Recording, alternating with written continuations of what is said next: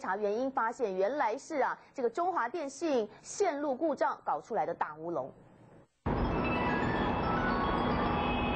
手机响了，接起电话，不过连续接了十四通，结果都好诡异。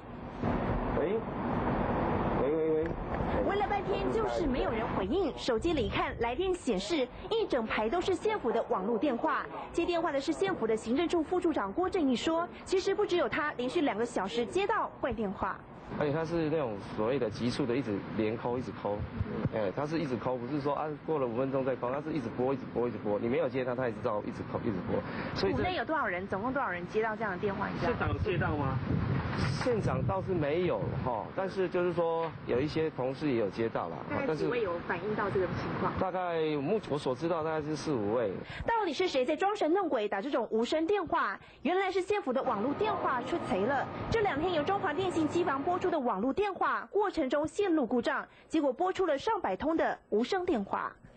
伺服器，那在处理这个是系统，那其中有一颗啊就是发生问题，就发生说啊，假如说呃这两天有跟呃台中县政府运用这个门号联系的哈，他呃就会回 call。